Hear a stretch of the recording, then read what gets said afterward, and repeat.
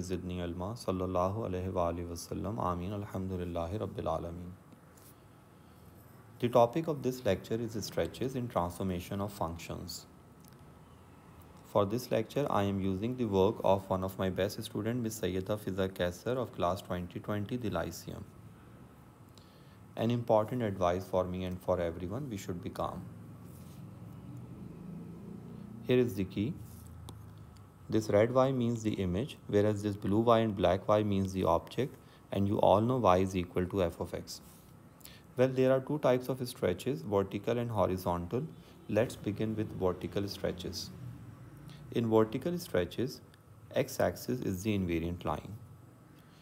Invariant line means a line which contains the invariant points. The graph of y is equal to a times f of x or y is equal to a times y. This y means the image whereas this y means the object and this a means the stretch factor. Is a stretch of the graph y is equal to f of x. With the stretch factor a parallel to the y-axis and x-axis is invariant. Or you may describe this equation or this equation as a vertical stretch with the stretch factor a and the line y is equal to 0 that is x-axis is invariant. Let us understand this concept through this example. Consider these two functions. We obtain the second function by applying this equation on the first function. The diagram shows the graph of the two functions. When the x coordinates on the two graphs are the same, see 1 and 1, the y coordinates on the red graph is double the y coordinate on the blue graph. This is double of this because of the stretch factor. The x coordinates are same whereas the y coordinates this y coordinate is double. This means that when the x coordinates are the same, the red curve is twice the distance of the blue graph from the x-axis. This distance is double with respect to this distance.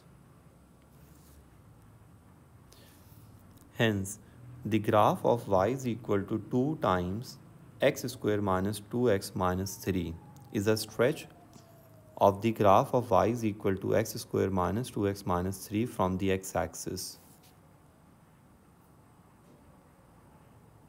Since y is equal to 2y, therefore we say that this graph has been stretched with a stretch factor 2 parallel to the y-axis and x-axis is invariant.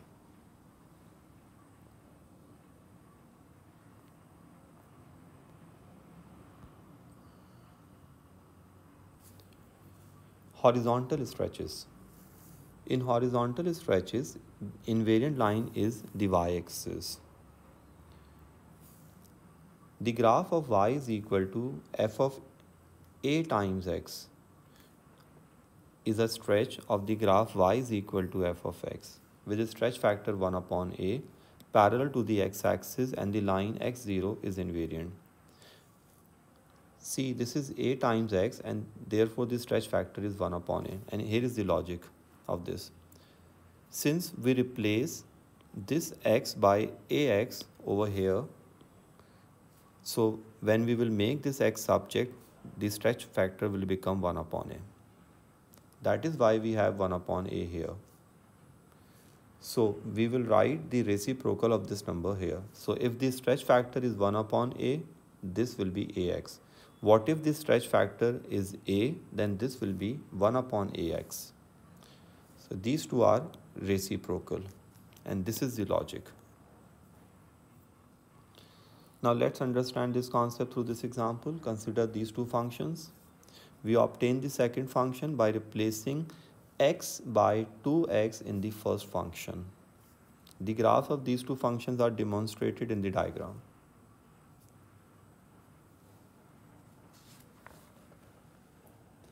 We, this means that the heights of the two graphs are the same. when the red graph has half the horizontal displacement from the y-axis. This is the half with respect to this displacement. Hence the graph of 2x square, this one, minus 2 times 2x minus 3 is a stretch of this graph from the y-axis. We say that it has been stretched with a stretch factor 1 upon 2 parallel to the x-axis. And this is the way to get the coordinates of the image.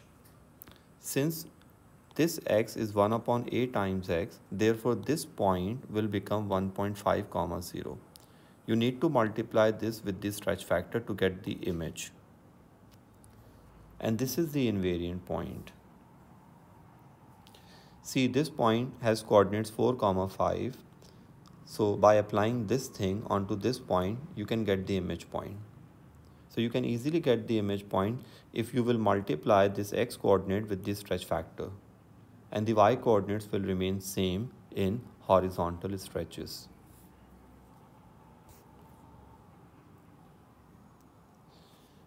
Example.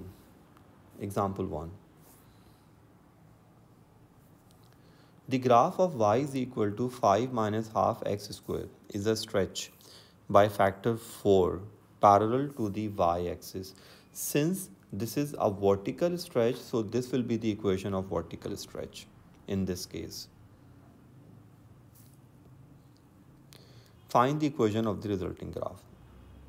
A stretch parallel to the y-axis, factor 4, give this function. So, by applying this thing onto this equation, we can get the equation of the resulting graph. Since f of x is this, so by multiplying f of x with 4, we can get the equation of the resulting graph. So this is the equation of the resulting graph. The most important thing is this. For vertical stretches, use this equation. Number 2. Describe the single transformation that maps this onto this. By observing these two equations carefully, you will see that x is replaced by, I mean, this is the transformation. This minus 3 is multiplied by 2. So you can, uh, you have two options. You can directly observe this or you can express this equation into this form. If you will directly observe this, you will see that this 3, the coefficient of x is multiplied by 2. So this is the equation of the stretch. And you just need to describe this equation. The transformation is a stretch parallel to the x-axis with a stretch factor half. We write the reciprocal of this here and the line y-axis is invariant. This is one method, just the, I mean, observation. Through observation, you can write this equation and you can then describe this. And this is the another way of solving this question. You can express this into this form first to get this equation. And then you can easily describe this equation. This is the last example. Find the equation of the resulting graph when y is equal to 2x square minus 8x plus 10 has a stretch parallel to the x-axis with stretch factor 2. So this is the equation of the resulting graph. For horizontal stretches, we use this equation. Stretch factor is 2, so we write the reciprocal of 2 here. So by applying this onto f of x, we can get the equation of the resulting graph. I hope this lecture will help you all to understand this topic well. And this is all. I will discuss the next uh, topic, the combined transformations in my next lecture. An important advice for me and for everyone, we, we should be nice to others. Allah Hafiz.